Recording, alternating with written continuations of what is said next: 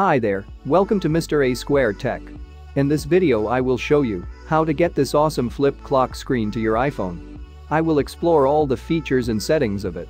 So watch the video till the very end. Let's get started.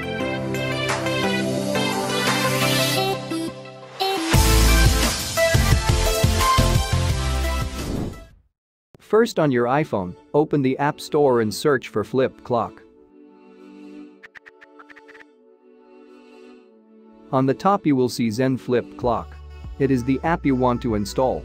Click on Get and install the app. Once it is installed click on Open. At first you will be shown the settings of the clock. Click on OK to continue. And this is how it looks. It looks kind of boring right now. Let's explore the settings of it and make it classic. Swipe from bottom of the screen to open settings.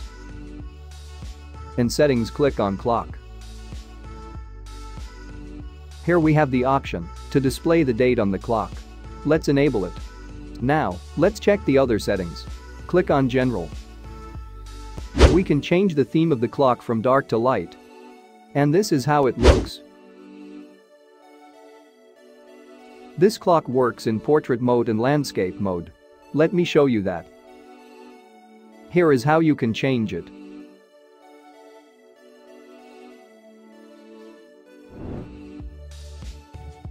And this is how it looks.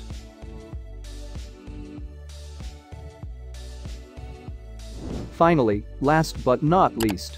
Now let's change one more setting and give it a complete flip clock look. In general settings, select flip sound.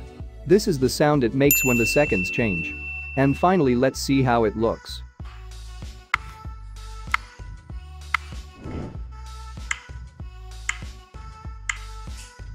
And that is how we get the flip clock to iPhone. I know that it is not the screensaver, but the app hack. It is cool when you want to show up your desk setup or use your old phone as a clock on your desk. That's all for now. Please like share comment and subscribe to our channel. Thank you for watching. See you in another video.